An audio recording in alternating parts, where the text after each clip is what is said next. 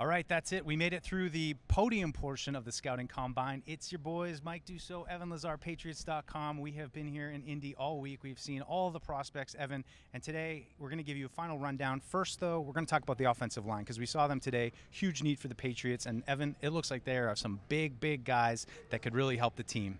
Big, athletic, well-spoken guys out there today. This Yeah. is an impressive group, and I've been saying it since watching all these guys on film coming into the combine that I really like this group at tackle. I think that there's a number of plug-and-play starters for the Patriots. I'd say more so on the right side, but I think there's a couple left tackle options that we can get into as well if they want to go in that direction. But you talk about the most immediate need on the depth chart for the New England Patriots. I don't think there's any question in anybody's mind that tackle, based off of how it went last year, especially on the right side, but just in general, looking at the entire depth chart, that has to be the biggest need on the team right now. Well, let's start right at the top. And we kicked things off this morning with Peter Skoronski, which was, you know, big questions a little bit about his arms. Not as big of a deal when you're talking to him. Certainly looks everything like we've heard. A three year starter at left tackle at Northwestern.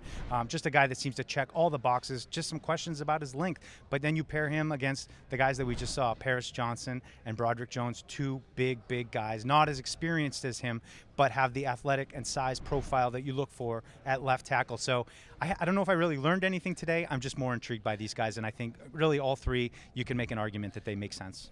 It's so. It's antiquated that we talk about arm length, and we get so caught up in the fact that, can play. that he has shorter arms, maybe by an inch compared to what the threshold might necessarily be. The guy that he talked a lot about, though, at the podium was his former teammate Rashawn Slater, who came in with 33-inch arms, and that was the big thing about Slater is that he's got short arms. He's going to be a guard in the league, and he goes to the Chargers and is a stud right away at left tackle. So, what are we really talking about here? I think we get caught up in these types of things a little bit too much, and with Skoronski as well, I, I would just say that he's somebody that has that polish and that experience that the Patriots tend to gravitate towards. One of the few guys at the top of this board at the tackle class that has the three-year starters label under his belt. And I think when you look at New England, they're typically in the Senior Bowl, they're at the Shrine Bowl, uh, they're at experience. They want guys that have been in the league or been, you know, starting, excuse me, at the college ranks for multiple seasons, and not somebody that just had a cup of coffee in, in the college game. And I think that that is what Skoronski is. Yeah, and that's the conversation we had was that look, even if Skoronski didn't work out, it seems like this guy's going to be able to play in the league.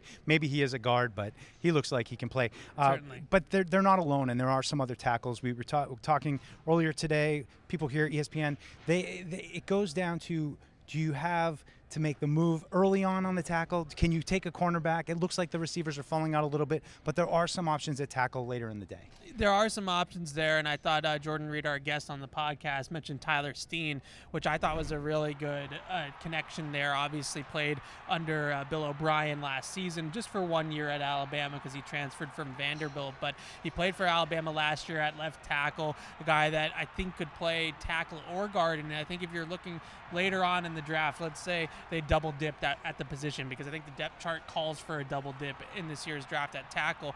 Maybe Steen is a guy that okay, we could see him at tackle as a swing tackle if we want to play him there, but at guard, I think he's a starter. And if you talk about two or three years from now, and maybe Michael Onwenu with his contract situation or whatever uh, the case may be, now maybe we have a starting position open up for Tyler Steen in the inside, which is maybe some flexibility there with the second pick if they do double dip at the position. Yeah, Mar- Matthew Bergeron from Syracuse, another guy I listened to. Uh, you know, just like what he had to say. He says, "Hey, I can play both sides, but I'm coming into this league. I want to be a left tackle." All right, He Evan. was taller than yeah. I expected. Yeah. Bergeron. What did he come in at? I, I don't. I they don't haven't measured in yet, but I, I, I thought he was going to be more of that square guard build, but he was slender and He tall. did. Yeah. All right. So that's Body the, that's here. the O lineman. Let's let's get a quick recap here of this week that we've been here. Of course, as we tape this, there's still some testing to go. So we'll you know see the speed of the the wide receivers uh, as well as you know Yeah. how much these guys are going to bench in the offensive line, all those kind of things. Um, but I think overall for me, the big thing I take away is yes, certainly the tackles, but I look at the cornerback class, and I think that that is the strength of this class. And I think that you know even talking to Jordan earlier, they need depth at that position, and there seems like there's a lot of guys there. If there's a headline for Meek, coming out of this combine, at least this portion of it, it's that there are a lot of good cornerbacks that could help the Patriots. I'm right there with you. It's hard to look any other position. I think the edge defenders were also pretty impressive on the first yeah. night out at workouts. Guys like Nolan Smith, obviously at the top there, but some other guys too that I think are interesting for the Patriots in the middle rounds for a position that's not necessarily a top need. But I have to go corners as well. This class, Jordan mentioned maybe 15 corners uh, going in the top 100. I've heard almost as up to maybe 20 uh, from some people as you walk around here in Indy. So this is a absolutely loaded cornerback class. I don't necessarily think it needs to be a day one position that they target, but if they do, then Joey Porter Jr., Christian Gonzalez, Devin Witherspoon, those guys are going to be terrific players in the league. And I think even I know Patriots fans don't necessarily love when they trade down in the first round, but I think if corner is where they want to go with that pick, if you trade it back into the 20s and then a guy like a Deonte Banks starts to make sense, or some of the guys later on in the first round, Cam Smith, all of a sudden there's just so much depth at that position that you can really just get your pick of the litter almost. Yeah. I, I, think in some ways, although I, I, do think that those guys, Gonzalez, Porter Jr., and Witherspoon, have a real good chance to go top 10. Second position I just want to highlight, we talked about the tackles obviously, but is of course wide receiver. It's a big need. And, you know, Patriots sitting at 14th overall.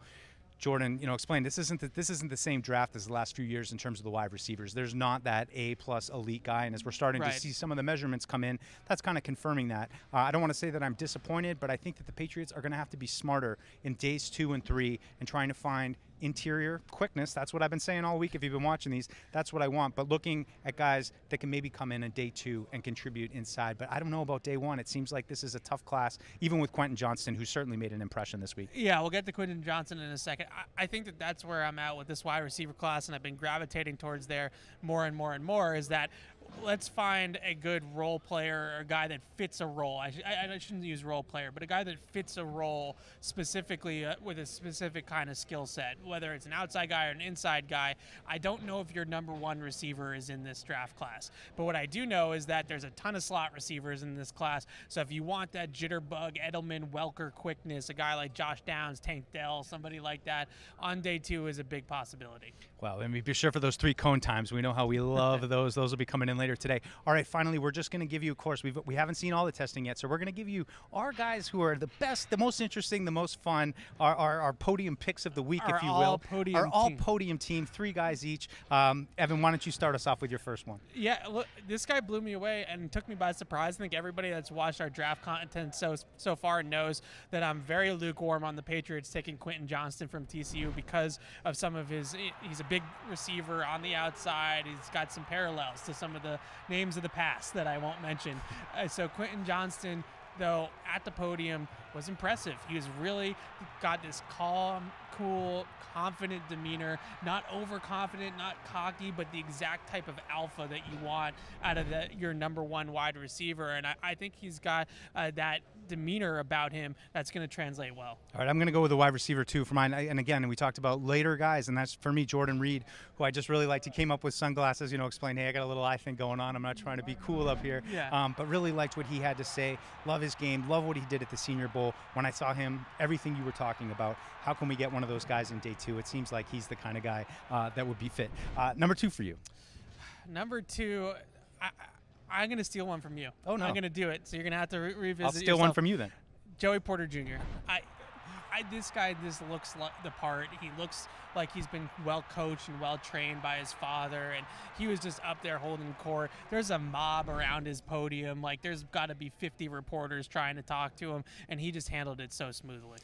Well, you stole mine. I'm, I'm going to have to go back to the one I originally picked, which was was Jakorian Bennett. Uh, it's a cornerback from Maryland. The two Maryland cornerbacks last night blew up the combine with their speed. Um, again, just you know, you get up there, you see these guys who have that confidence. Uh, you see what he does on the field, and he's just one of many of those cornerbacks that we picked. Um, well, you went, so I'm going to sneak in my last one yeah, too. Yeah. Broderick Jones from Georgia, um, and you know, I just what I love aggressive guy, a big guy, a big tackle. Looking at him, it's man, this is the kind of per- personality, presence that would change this team up front as far as the offensive line. A little bit raw for sure, but he has that edge. I loved him. The reason why I went Porter Jr. is because we talked a lot about Nolan Smith, I feel like already. He was great at the podium, yeah. though. The last one I'll give you Michael Mayer, Notre Dame tight end. Feels like a guy that's going to be a team captain at the next level, just intense confident, has that real though uh, intensity. Like you feel like you're going to run through a brick wall for the guy. And he's captain at Notre Dame. Uh, he's got that first round demeanor and polish, and I, I think he's going to be a good player. All right, one more silly one each because you know, hey, we're, Yeah. we've been here five, six days. We don't even know. We've lost track, so we're getting a little bit punchy. Um, but we're gonna have one silly one for you. For me, it was the one guy just walking around asking everyone if, if they had met with the Tampa Bay Bucks and whether it was informal or formal. That was it. That was the only question. So, um, and you know, I just got to use this opportunity to say, like, these guys, when people ask them if they've met with teams, they're like. Uh, I think so. And then it gets tweeted out as if Yeah. like this is big news. Like all Right. these guys are meeting with all the teams. So I just thought it was funny. This guy going around Tampa Bay Bucks every single time, every scrum you're in, you knew you were getting that one. my the medicals, the MRI machine. I'm sitting here, I'm waiting. The last day, we've been here for six days. We don't know what day it is. I I, I don't even know what time it is. And I'm waiting for Dawand Jones from Ohio State to appear from uh, in the back there to talk to us in the media. And they come up to the media and they say, he's not coming. He's stuck in medical. And uh, that was a little bit disappointing to not see the mountain, as I Yeah. like to call him here at the combine. which was the same thing that happened to Devin Witherspoon, who Yeah. was you know another top prospect cornerback that we didn't get to take a look at. So I guess that's going to do it for Deuce and Lazar in Indy. It was a great week. We learned a ton, and of course, all this information is only going to inform our coverage over the next couple months. But be on the tune, uh, be in, be on the lookout over this next week. We'll have plenty of wrap up content. Try to put a bow on this thing after what we just did here. So thanks for checking out everything, and there's certainly way more to come.